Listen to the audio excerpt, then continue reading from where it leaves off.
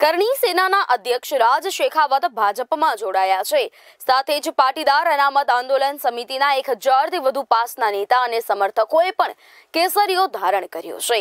Ahmedabad PAAS convener Jayesh Patel અને મધ્ય Gujarat pass convener ઉદય પટેલની આગેવાનીમાં અન્ય કન્વીનરો અને ટીમ સહિત એક હજારથી વધુ કાર્યકરો ભાજપમાં જોડાયા છે. કરણી સેનાના અધ્યક્ષ રાજ શેખાવતે કેસરીઓ ધારણ કર્યા બાદ પાસના કન્વીનર જયેશ પટેલે એક હજાર સમર્થકો સાથે ભાજપમાં જોડાયા.